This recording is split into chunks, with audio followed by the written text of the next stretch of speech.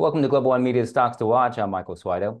We have an extraordinary interview for you today with a gentleman who is shaking up the world of medicine. I've got to warn you, though, the way he's doing it, well, it may sound a bit yucky. More about that in a moment. But I have to say his approach is incredibly innovative. It draws on nature and it is saving lives. Not only that, the company that he has founded is set to list on the NASDAQ this year. Carl Baptista, it is a pleasure to welcome you to the program and congratulations you, on your plans to go public. Thank you. Thank you. Yes, it's uh, been a long time coming. Your company is called Cuprina, and it specializes in the manufacture of products that treat chronic wounds. Your solutions reduce amputations, they eliminate infections. This is particularly useful for people who suffer from diabetes and vascular disease, as well as older patients who have trouble healing. Your approach, as I mentioned in the lead, is grounded in nature. You study the natural world, and you have a background I should have in working with insects. And that has led you to, well, I guess I've been avoiding saying it so far. It led you to maggots, those squirmy larvae that eventually transform into flies. So, Carl, I have to ask you, why maggots? What do they do that's better than modern medicine and pharmaceuticals?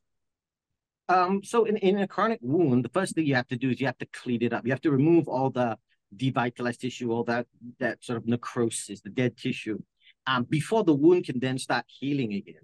Um, and so the, the the, the, the golden standard in the clinical setting now is to use a scalpel, a sharp tool to scrape away at that wound. Um, mm. And although that removes that debris very quickly, it does traumatize the wound bed underneath, and so impairs healing in the future. The most mod, the most simple and the most uh, natural way to remove this debris is to get the insects to remove them. It's actually part of their natural diet. So all we do is just apply these maggots in a medical grade form for them to be used live on the patient's wound uh, to remove all that debris so the wound can progress forward. How do the maggots help with the healing, though? Explain that to us. So active maggots don't heal the wound. What they do is they clean and they disinfect the wound. How they do this is they they use their mouth parts and that breaks down that tissue. Um, um, and then they liquefy it with some of the enzymes that they secrete in their saliva. And then that liquefies it enough for them to be able to suck it up and remove it from that from that wound environment. And then they digest it within their system and then they defecate it. Now, we, we've tested um, all the, the remnants of their, their gut fauna, and we found that it actually aids in the breakdown of more tissue. So there is a sort of an eat and a treat at, uh, at the same time. Eat and treat. The maggots are eating the bad stuff, and that's how they clean the wound. And yes. even if that's what happens, I mean, a lot of people may not like the idea of a doctor placing these squirmy creatures inside their bodies. I mean, I got to say, yuck. But you get that, and you've developed a product that enables maggots to do their job without actually coming into direct contact with the patient. Tell us about that. Right. So we have two. We have two different products. One we call the um, the the uh, MediFly Free Range. Now the free range, as it as it sounds, is is we allow those maggots to freely roam over the surface of the wound, move into the pockets of areas where they have the highest amount of food, or which is the, the necrotic tissue, and, and some of that bacteria as well, which is also their food. Um, but uh, in certain instances, we don't want maggots sort of crawling into crevices and, and getting hidden into orifices of the body. So we then have a, a product that we call the Baggot, which is basically maggots placed into a closed dressing, a bit like a tea bag um, where the perforations in the fabric allows the maggots to directly feed onto the wound bed without actually coming into contact with it through the secretions that that leach out through these fabrics. I have to say that product is creatively named Baggots. So you have those two products that promote healing, the free range and the Baggots. Healing, though, is just one part of the equation. Uh, once the wound is clean, it needs to be closed, and the maggots yeah. don't do that. So you turn to another animal for help. What is that? Yeah, so that's the American bullfrog. American bullfrogs. Uh, why bullfrogs? Where did this idea come from? Um, actually, this this idea came uh, not from us. This idea came from uh, NTU, one of the uh, major local universities here. Now they have a, waste valorization project going on where they look to uh, take waste and turn it into higher value than its uh, original um, uh, material that it was that, that it was derived from. Uh, and um, what they found was that there are millions of frogs eaten in Singapore every day, uh, every year, um, and uh, the skins of these frogs are discarded as waste. So they've found a way to extract the really valuable collagen that um, is derived uh, from this waste material. Um, now, frogs are very uh, unusual creatures because they live in both a wet and a dry environment, being amphibians. Um, and all the traditional sources of of collagen today come from either land-based animals or from marine-based animals. And so because of that, they don't, they have very, very different properties. Um, but whereas with the amphibians, they have the, the best of all, both land and, and sea and, and water-based uh, creatures uh, together in, in one sort of molecule.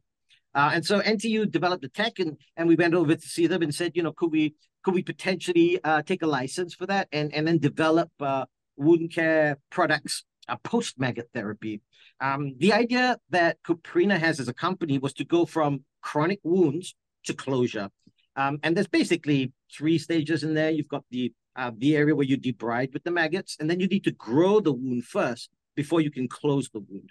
Um, and so what we do is we use this uh, uh, amazing um, biomaterial that we generate from the skins of bullfrogs to create uh, scaffolds that allow cell tissue to grow um, uh, much faster than they would traditionally do.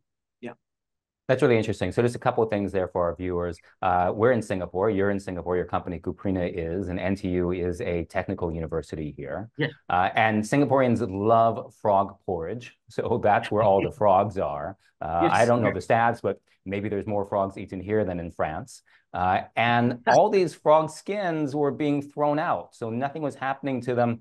And you're telling us that they're actually really quite valuable. So, I mean, I just think that's that's fascinating. Oh, so, absolutely. Yeah. One one gram, one one skin contains roughly about one gram of collagen.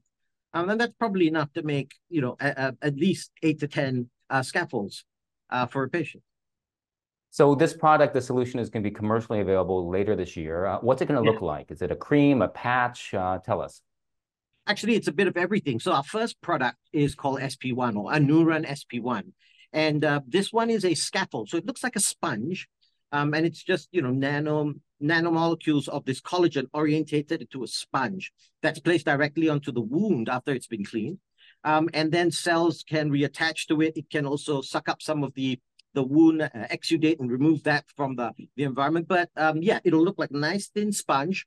Um, and then uh, thereafter, we'll be uh, able to look into the products that can help close the wound, uh, reduce scar tissue formation, you know, things like that, and accelerate that that duration that it takes to to heal these wounds. So let's take a step back now. Uh, Cuprina's mission, if I can quote, is to harness the power of nature and provide end-to-end -end wound care solutions that take patients, yes. as you said, from chronic to closure. So yes. we've covered both parts of that equation. The maggots address the chronic wounds. The bullfrog collagen promotes healing. For the moment, these products are going to be applied by a doctor or a nurse, but you're in the process of developing smart dressing, so-called smart dressings that patients can apply themselves. Tell us, how does that work?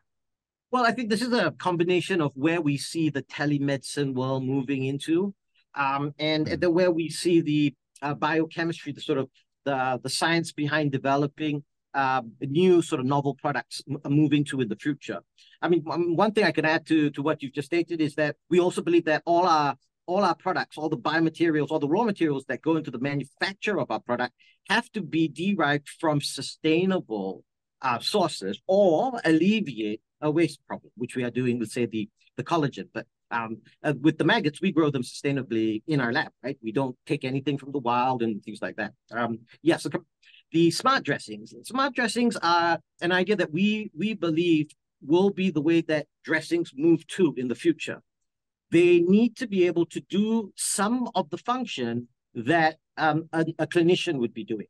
Um, and so that function would be to be able to detect changes in the wound. So as the dressing interacts with the surface of the wound, so does the chemistry within that dressing and by interacting with it, it can tell whether the wound is progressing or regressing. And so then if it's progressing or regressing, it can then release um, a beneficials that's already stocked within the in, in the dressing into the wound to address it. So if it's hmm. obviously progressing forward, it can accelerate that progress. If it's regressing, it can try and fix that. And by releasing these beneficial, shall we say, into the wound, it can also create a certain amount of um, uh, understanding about where it's whether the wound is is progressing, and then it can then use that um, through your mobile device to then update the clinician and, and the clinician's records. So the next dressing change, you understand exactly where the wound is as well. So it would it would be able to to diagnose or, or at least to understand the, the the status of the wound. It will be able to treat simultaneously, uh, and then it will be able to report as well. I love this idea of a dressing that actually reports back to the patient and to the doctor. It almost sounds like the medicine of the future, but I get that you all are working on that right now. Um, yes. So really fascinating technology based in nature, sustainable, like you said. Let's take a look at the business side of the equation now and some of the numbers behind it. And we're going to do this rapid fire style. Are you game for that? Um, I'll give it a go. I'm the technical guy. So um, yes, definitely. All right, let's start. Thank you for that. Number one, how big is Cuprina's business and how much revenue do you have? Um, currently, we're in big, uh, I'll say the size. We're currently only in Singapore, but we also um, uh, cater to the Hong Kong market. We are growing and expanding. We'll be in in um, Saudi Arabia, uh, covering the MENA region within by the end of this, by the by the first half of this year. Um, uh, currently, our market's about uh, our revenue is about a hundred thousand, a little bit over that. But we are we have expended a lot of money in our development to develop the strategy, and and as with these products are now becoming available through the regulators post regulation, we'll be able to expand out really quickly. Is your company profitable? At the moment, no. Uh, we're still sort of in startup mode, but we once we get our, like I said, once we get our chronic to closure strategy fully operational. At the moment, we're only at clean and disinfect. But once we get that fully operational, yes, I believe we will be. So you're investing for the future. How big is Absolutely. your target market and how do you define it? Um, I think the, the current target market is about globally is about 11, 11, 11 and a half billion. Um, and that was in 2021. I think that's scheduled to grow to about 19, nearly 20 billion by 2029. All right, next, how much money do you expect to raise in your listing on the NASDAQ and how is your company going to use it? Uh, we filed with the SEC for uh, a raise of, uh, of about 10 million uh, as the uh, as the IPO. Um, but uh, about 40 something percent of this these proceeds will be used for our, directly for our growth and expansion into our new new regions. about 12, 15, 12 to 15 percent is expected to be used directly into R&D. Okay, so a combination of expansion and R&D. Carl, Cuprina is a relatively small player in the medical industry. I'm wondering, and, and we talked a bit about this offline, whether you expect you're going to work more with established names in the industry to extend your reach. Uh, I don't know, maybe by offering them white label products so they can use your products with their brand. What do you think? Yeah, so the, the biggest um, issue with our our being able to scale up really, really quickly is distribution. Uh, we need to be able to get into uh, multiple markets simultaneously to have a very good scale up. And that requires us to go through individual regulation in individual countries. So I think the fastest way for us to scale up is to partner with these companies um, and, and, and, scale up that way. Um, the molecule that we derive is is sustainable, right? So it's it's from a waste material, um, and it is then are converted into something uh, that is better than the raw material available in the market. So I think most of these big companies who are looking for gaps or to fill up gaps in their portfolio, whether it be a sustainable product, whether it be to to capitalize on a um, on a on a clinician need, um, uh, yeah, we would be glad to partner with them. Uh, we would be glad to take um, uh, some of our ideas um, and and white label it for them. Yeah no problem whatsoever. Yeah. Well, there's certainly a lot of M&A activity in the pharmaceutical space, in the medical space. Uh, yes. So, I mean, you're not there that moment, but certainly I, I, think an industry that's an interesting trend and that could impact your company later on. So yeah. maybe that segues to my last question for you, and this is for all the investors out there. Uh, Cuprina should be listed uh, on the NASDAQ in the months ahead. Why should retail investors buy it? Why is Cuprina a stock to watch?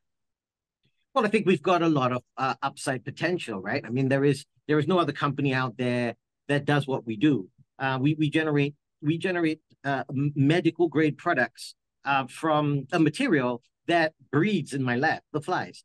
Um, and you know, so I'm a medical med, medical device manufacturer with very very very low uh, raw material costs. In fact, my raw material reproduces. So hmm. so we're very interesting people in that we we see ourselves as um, an example for other people to follow in terms of that we can start a company based on sustainability. That's our fundamental um, sort of DNA.